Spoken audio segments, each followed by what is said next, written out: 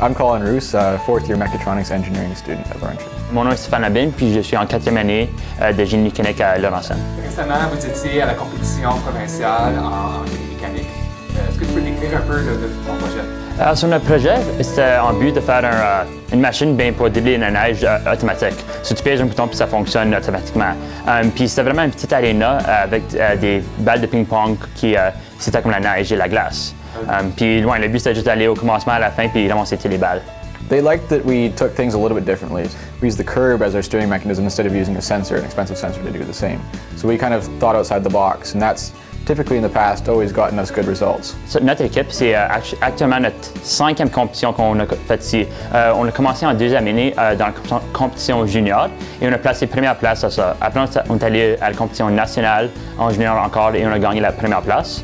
Et l'année passée, on a fait la même chose en senior au niveau provincial, mais on n'a pas gagné au niveau national l'année passée. Puis on a fait cette compétition ici. So maintenant, on s'en va à la compétition nationale encore cette année.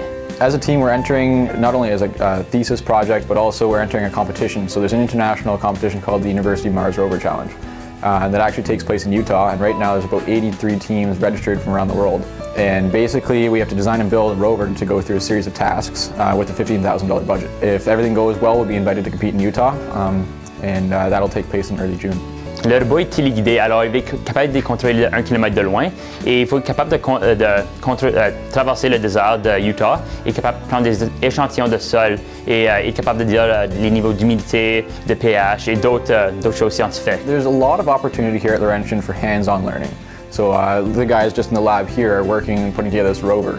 Uh, a lot of students will graduate from engineering and never have touched a wrench or uh, wired up a robot or something like that complex. Just having that hands-on experience it gives us a, the edge up here, which correlates to the competition for us.